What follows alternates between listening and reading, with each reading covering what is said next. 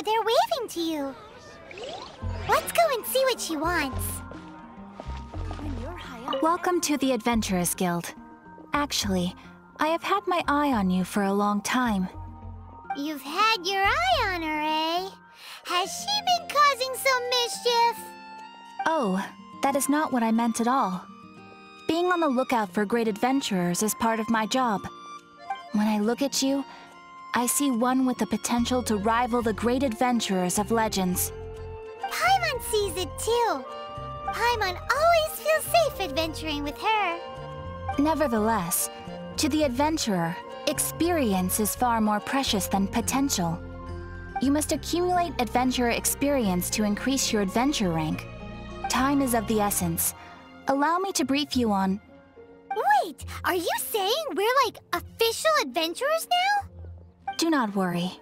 The Adventurers Guild does not charge a membership fee or impose any kind of duties on its members. In short, there are lots of benefits, but no drawbacks to becoming a member. New recruits these days certainly do not beat around the bush. Basically, the Adventurers Guild rewards you every time your adventure rank increases. Here is a new member's gift for you. You will need to return here to claim rewards in the future.